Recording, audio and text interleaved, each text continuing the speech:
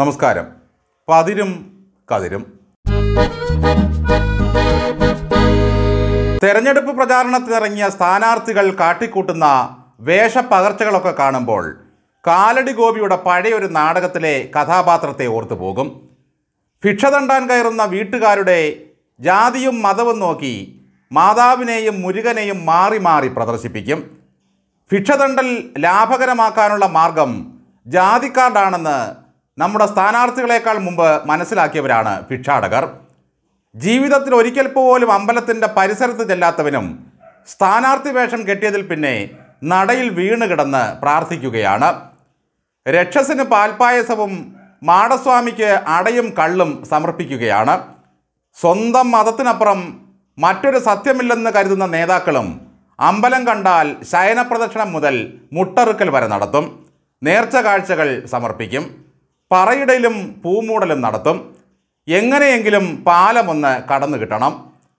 കോടിയേരി ബാലകൃഷ്ണൻ ഒറ്റ വിസിലടിച്ചാൽ നവോത്ഥാനം ശബരിമലയിലെത്തുമെന്ന് പറഞ്ഞ ഒരു സ്ഥാനാർത്ഥി ഇപ്പോൾ നാഗദേവങ്ങളുടെ ആരാധകനും വിശ്വാസിയുമായിട്ടുണ്ട്.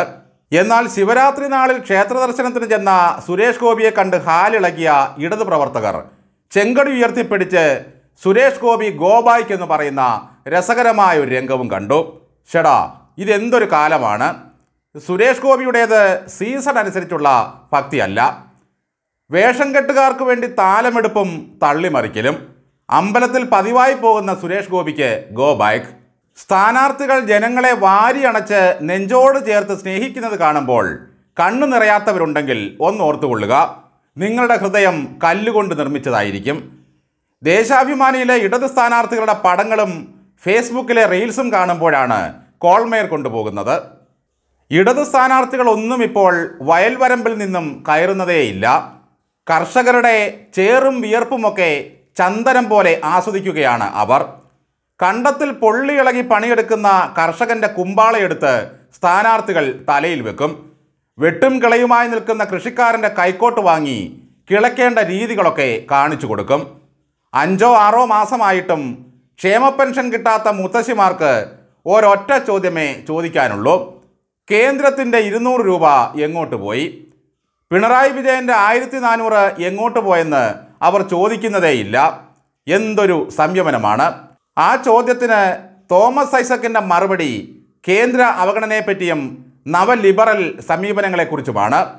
അതോടെ പിണറായി വിജയന്റെ ആയിരത്തി നാനൂറ് വീതം പോയാലും വേണ്ടില്ല. കേന്ദ്രത്തിന്റെ സമീപനം മാറണം എന്ന ചിന്തയിലാകും ആ വീട്ടമ്മയുടെ വിപ്ലവബോധം. പത്തനംതിട്ടയിലെ ഇടതു സ്ഥാനാർത്ഥിയായ തോമസ് ഐസക്ക് ഇവിടെ ഇപ്പോൾ ഒരു സെൽഫി പോയിന്റായി മാറിയിരിക്കുകയാണ്. അച്ചായനെ കാണുമ്പോൾ ആനന്ദ കണ്ണീരോടെ ആശ്ലേഷിക്കാൻ ചെല്ലുന്ന വീട്ടമ്മമാരുടെ ദൃശ്യങ്ങൾ കാണുമ്പോൾ നമുക്ക് ചോദിക്കാൻ തോന്നുകയാണ് ഈ മനുഷ്യൻ എങ്ങനെയാണ് ഇത്രയും ഹൃദയങ്ങൾ കീഴടക്കിയത്? അഭിനയമാണെന്ന് ആർക്കും തോന്നില്ല. പൂവിന് പുതിയ പൂന്തന്നൽ എന്ന പോലെയാണ് ഐസക്കച്ചായനെ പത്തനംതിട്ടയിലെ സി പി എമ്മുകാർ കാണുന്നത്. തോമസ് ഐസക്കിന്റെ പുസ്തകങ്ങൾ ഇപ്പോൾ ലോഡ് കണക്കിന് കൊണ്ടുവന്ന് എല്ലാ വാർഡിലും പ്രകാശനം ചെയ്യുകയാണ്. വായന പരിപോഷിപ്പിക്കലാണ് ലക്ഷ്യം. പെൻഷൻ കിട്ടാത്തവർ ഈ പുസ്തകം വാങ്ങി വായിച്ചാൽ സർവക്ഷേമവും ഒന്നിച്ച് വീട്ടുപടിക്കൽ വന്ന് നിൽക്കുന്നത് പോലെ തോന്നും. വന്ന ഉടനെ പത്ത് പതിനായിരം പേർക്ക് തൊഴിൽ കൊടുത്തു കഴിഞ്ഞു. എന്നിട്ടും തൃപ്തിയാകാതെ ഇനി പുരയുടെ കൃഷി എങ്ങനെ ഹൈടെക് ആക്കാമെന്ന ആലോചനയിലാണ് ഐസക്ക്. മണ്ണിലൊന്നും ഇപ്പോൾ കൃഷികൾ പഴയതുപോലെ വേര് പിടിക്കുന്നില്ല ഇനി ഹൈടെക് കൊണ്ട് മാത്രമേ വല്ല ഗുണവുമുള്ളൂ. ചിരട്ടക്കരിയിൽ നിന്നും നല്ലെണ്ണ ഉണ്ടാക്കുന്ന വിദ്യ കൂടി പഠിപ്പിച്ച് സഖാവ് ആലപ്പുഴയിലേക്ക് തിരിച്ചു പോകും. ആറ്റിങ്ങലിലെ ഇടതു സ്ഥാനാർത്ഥി എത്ര സ്നേഹത്തോടെയാണ് ജനങ്ങളെ കാണാൻ ചെന്നത്.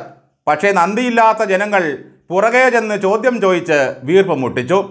അതോടെ സ്ഥാനാർത്ഥി ഇറങ്ങി ഒറ്റയോട്ടം. പത്തു നൂറെണ്ണം പിന്നാലെ. സന്ദേശത്തിലെ ഉത്തമൻ പറഞ്ഞതുപോലെ കൊടുത്തതിലേറെയും വാഗ്ദാനങ്ങളായിപ്പോയി മനുഷ്യസ്നേഹത്തെ പറ്റിയൊക്കെ കൊല്ലത്തെ മുകേഷ് എം എൽ എ പറയുമ്പോൾ ഹൃദയം വല്ലാതെ പടപടാ ഇടിക്കുകയാണ്. മണപ്പള്ളിക്കാവിലെ വേലയ്ക്കും ഉത്രാളിക്കാവിലെ പൂരത്തിനും എന്നു വേണ്ട മാടനൂട്ടിന് മുതൽ മഹാശിവരാത്രിക്ക് വരെ ഇടത് സ്ഥാനാർത്ഥികൾ തങ്ങളുടെ തലയും ചിഹ്നവും വെച്ച് ആശംസകൾ നേരുകയാണ്. ശിവനും മഹാവിഷ്ണുവിനും ഭഗവതിമാർക്കുമൊപ്പം ഇവരുടെ തല കൂടി കാണുമ്പോൾ ജനങ്ങൾക്ക് തോന്നണം ഇവരും ഈ ക്ഷേത്രത്തിലെ ഉപപ്രതിഷ്ഠയാണോ എന്ന്. പഴയ പോലെ മതം ഇപ്പോൾ മനുഷ്യനെ മയക്കുന്ന കറുപ്പൊന്നുമല്ല. ഒരു സീറ്റിനും നാലോട്ടിനും വേണ്ടി ഞങ്ങൾ നയങ്ങളിൽ വെള്ളം ചേർക്കില്ല എന്നൊക്കെ പിന്നീട് വീം പഠിക്കാൻ രസമാണ്. പാലം കടന്നിട്ട് വേണം കൂരായണ എന്ന് പറഞ്ഞ് കോക്രി കാണിക്കാൻ. വടകരയിലെ കുടുംബ സംഗമത്തിൽ സംഗീത സംവിധായകൻ ബാബുരാജിനേക്കാൾ വലിയ സംഗീത സംവിധായകരാണ് ശൈലജ ടീച്ചറെ പാടി പുകഴ്ത്തുന്നത്. ചന്ദ്രശേഖരന്റെ തലയിലെ വെട്ടുകളുടെ എണ്ണം നമുക്ക് തൽക്കാലം മറക്കാമെന്നാണ് ശൈലജ ടീച്ചർ പറയുന്നത് വടകരയുടെ വികസനത്തിൽ വേണം നമുക്കിനി ശ്രദ്ധിക്കാൻ. ഗോഡ് ഫാദർ സിനിമയിലെ അഞ്ഞൂറാൻ ചോദിച്ചതുപോലെ ടീച്ചറോട് ആ നാട്ടുകാരും ചോദിക്കുകയാണ് മറക്കണം അല്ലേ? എന്തൊക്കെയാ ടീച്ചറെ ഞങ്ങൾ മറക്കേണ്ടത്? കോവിഡ് കാലത്ത് വാങ്ങിക്കൂട്ടിയ പി പി ഇ കിറ്റുകളുടെ വില മറക്കണോ? ഗ്ലൗസിന്റെയും കീറ മാസ്കിന്റെയും പിന്നിലെ അഴിമതി മറക്കണോ? കോവിഡ് കാലത്ത് ഉറങ്ങാതെ ഇരുന്ന് ടീച്ചറമ്മയെ ഒപ്പിച്ച പണികൾ കേട്ട് ഉറങ്ങാതെ തലകീഴായി കിടന്ന നിപ്പ പരത്തിയ പഴംതീനി വവ്വാലുകൾ വരെ തലയിൽ കൈവച്ചു പോയി. ടീച്ചറമ്മ എന്നൊരു അമ്മയില്ലെന്ന് പറഞ്ഞ ജി സുധാകരനെ ഞങ്ങൾ മറക്കണോ? കുത്തി കുത്തി വിളിക്കുന്ന ഒരു പഴയ കൈഫോണും കയ്യിൽ വെച്ച് മറ്റൊരു ഇടത് സ്ഥാനാർത്ഥിയായ സി രവീന്ദ്രനാഥ് തന്റെ ലളിത ജീവിതത്തെപ്പറ്റി പറയുകയാണ്. അഥവാ ജയിച്ചാലും സൈക്കിൾ ചവിട്ടിയല്ലാതെ ഈ ലളിതൻ സഖാവ് ദില്ലിക്ക് പോവില്ല. ഈ നാട്ടിലെ മനുഷ്യരെല്ലാം പരമാനന്ദത്തിൽ ആറാടുകയാണെന്നും ഇനി തങ്ങൾ പാർലമെന്റിൽ എത്തിയിട്ട് വേണം ജനാധിപത്യം കാപിടിക്കാനെന്നും ചിന്തിക്കുന്നവരാണ് ഇടതു സ്ഥാനാർത്ഥികളെല്ലാം തന്നെ. ഇവിടെ പഞ്ഞവും പട്ടിണിയും പരിവട്ടവും ഉണ്ടെന്ന് ആര് പറഞ്ഞു? അമ്മാതിരിയൊന്നും ഇവിടെ ഇല്ലല്ലോ. വെറുതെ വേണ്ടാത്തത് പറയരുത്. നന്ദി.